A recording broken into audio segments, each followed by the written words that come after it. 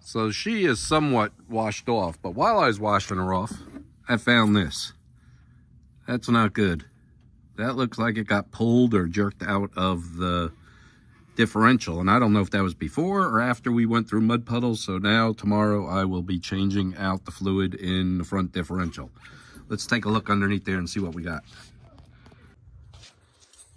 All right, it went in pretty good. Um, it's in there pretty tight. I'm just not sure if I like how easily that popped out.